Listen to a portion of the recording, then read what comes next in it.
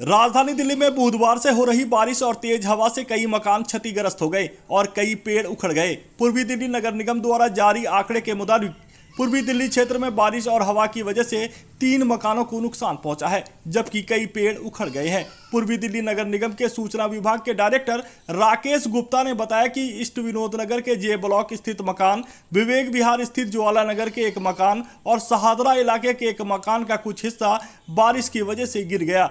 जिसके मलबे को हटा लिया गया है। इसके अलावा कृष्णा नगर आईपी एक्सटेंशन त्रिलोकपुरी इलाके में पेड़ गिरने की सूचना मिली। पेड़ के हिस्से को भी मौके से हटा दिया गया है। राकेश गुप्ता ने बताया कि किसी भी हादसे में जान और माल का नुकसान पहुँचने की खबर नहीं मिली है।